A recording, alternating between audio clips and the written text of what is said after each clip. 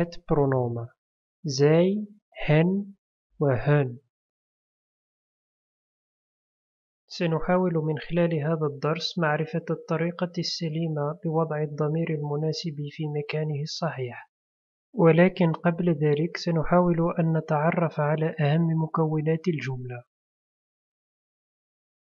من بين مكونات الجملة الأساسية نجد الفاعل underverb. فمثلا في هذا المثال We ate the apple من يأكل التفاحة فطرح مثل هذا السؤال يمكننا من معرفة الفاعل. ماريا eat the apple. الفاعل إذن هو ماريا فهي التي تقوم بالفعل الذي هو الأكل. تأكل ماريا التفاحة. والمكون الثاني هو leiden for verb. ويسمى إما بالمفعول به أو المفعول به المباشر. ولمعرفته في الجملة نقوم بطرح السؤال التالي. What eat ماريا؟ ماذا تأكل ماريا؟ ماريا eat the apple. تأكل ماريا التفاحة. يعني the apple هو المفعول به هو الذي وقع عليه الفعل. كما يمكن أن تتوفر الجملة أيضا على مفعول به غير مباشر. ويسمى meewerkend voorwerp مثال على ذلك هي خيفت آن ماريا د أبل هو أعطى لماريا تفاحة. أو هي خيفت ماريا د أبل هو أعطى ماريا تفاحة. فماريا هو مفعول به غير مباشر. ففي هذا المثال الفاعل هو هاي يعني هو والفعل خيفت والمفعول به المباشر هو the apple ماذا أعطى هو؟ هو أعطى تفاحة والمفعول به الغير المباشر هو ماريا ولمعرفته غالبا ما نستعمل السؤال لمن? أو عن في لمن أعطى التفاحة؟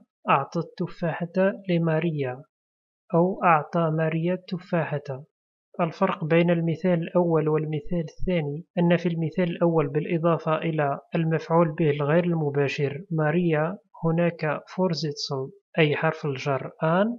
أما بالنسبة للمثال الثاني فهناك المفعول به الغير المباشر فقط.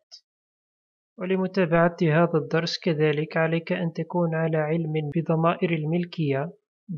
lijk voornaamwoord ويمكنك الوصول إلى هذا الدرس بالنقر على الرابط الذي يظهر الآن.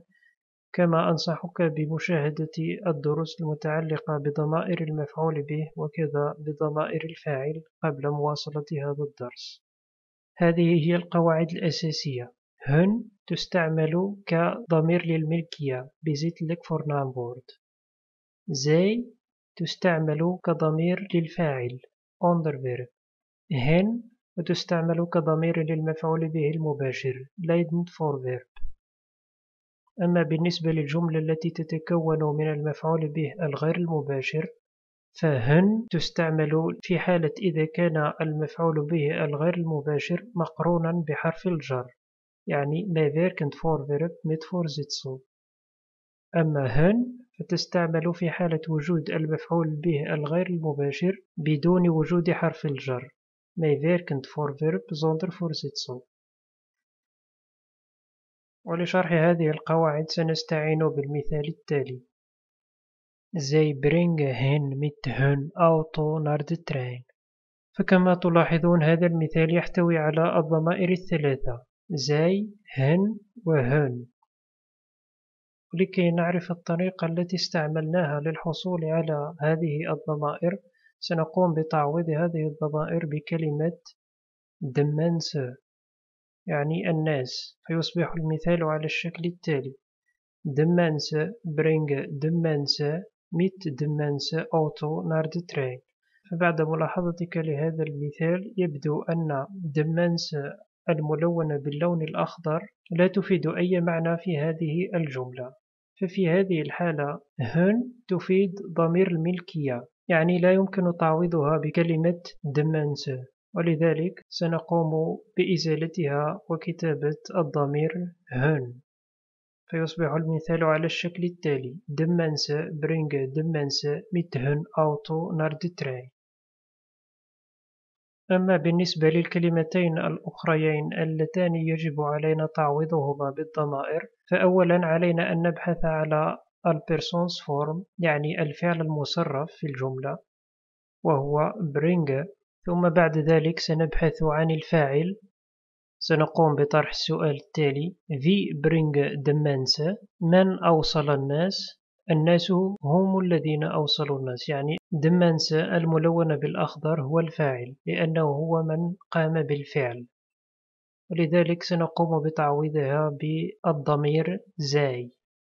فيصبح المثال على الشكل التالي zij brengen de mensen met hun auto naar de trein أما بالنسبة للمفعول به فسنقوم بطرح السؤال التالي brengen de mensen؟ ماذا أوصل الناس؟ أو من أوصل الناس؟ يعني من وقع عليه الفعل mensen الملونة بالأزرق brengen de mensen هم أوصلوا الناس وبما أن mensen الملونة بالأزرق هو المفعول به leiden voorwerp لذلك سنقوم بتعويضه بالضمير hen. Zij brengen hen met hun auto naar de trein. أما بالنسبة للجمل التي تحتوي على المفعول به الغير المباشر فمثلا سنقوم بطرح السؤال التالي أن في خيف أن أبو لمن تعطي التفاحة فيمكن أن يكون الجواب على الشكل التالي. Ik geef aan de mensen een appel أو Ik geef de mensen een appel وفي كلتا الحالتين فهاتين الجملتان تحتويان على مفعول به غير مباشر. دمانسة لكن الفرق هو أن في المثال الأول أن دمانسة يعني بالإضافة إلى المفعول به الغير المباشر هناك فرصة هو آن يعني حرف الجر. ولذلك ففي حالة وجود حرف الجر مع المفعول به الغير المباشر يتم تعويض المفعول به الغير المباشر بهن. أما إذا كان المفعول به الغير المباشر غير مسبوق بحرف الجر في هذه الحالة يتم تعويضه بالضمير هن. ومما سبق فهن يمكن أن يكون ضميرا للملكية وذلك في الحالة التي لا يمكن أن يعوض بكلمة دمانسة كما أن زاي يكون دائما ضميرا للفاعل وللوصول إلى الفاعل نبحث عن الفعل المصرف ثم بعد ذلك نطرح السؤال من يقوم بذلك الفعل لكي نصل إلى الفاعل؟ أما hen فتعوض المفعول به المباشر والذي يمكن الوصول إليه بالبحث كذلك على الفعل المصرف ثم طرح السؤال wat أو wie يعني من وقع عليه الفعل ثم بعد ذلك نقوم بتعويضه بهذا الضمير. أما في حالة وجود المفعول به الغير المباشر meewerkend voorwerp ف hen تقوم بتعويض المفعول به الغير المباشر المرفوع بحرف الجر meewerkend voorwerp met voorzetsel أما hun فتقوم بتعويض المفعول به الغير المباشر بدون حرف الجر meewerkend voorwerp zonder voorzetsel أمثلة. المثال الأول. ماذا سنضع في هذا المثال؟ hen أو hun أو zij. Wij klachten zeer serieus. أولا سنقوم بكتابة كلمة دمانسة في هذا الفراغ. فيصبح المثال Wij nemen klachten zeer serieus. فكما تلاحظ فوجود هذه الكلمة لا يفيد أي معنى. ولذلك فتعويض الفراغ بكلمة دمانسة خاطئ إذا فالضمير الذي سنستعمله هنا هو هن الذي يفيد ضمير الملكية hun klachten zeer serieus. نحن نأخذ شكواهم على محمل الجد. المثال الثاني hebben mij gevraagd om de cursus te. سنعوض الفراغ بكلمة mensen De mensen hebben mij gevraagd om de cursus te geven. الجملة صحيحة. سنبحث الآن على الفعل المصرف وهو hebben gevraagd. والآن سنقوم بطرح السؤال لمعرفة الفاعل. ولذلك سنسأل wie hebben mij gevraagd من سألني؟ وفي هذه الحالة الجواب سيكون mensen الناس هم من سألوني. إذا فكلمة mensen جاءت في محل الفاعل. ولذلك سنعوضها بضمير زاي. زاي هبن مايخي فراخت أم دي كيرسوس تخيفة المثال الثالث. de verliezers feliciteerden met het behalen van het kampioenschap. سنعوض الفراغ بكلمة de mensen. de verliezers feliciteerden de mensen met het behalen van het kampioenschap.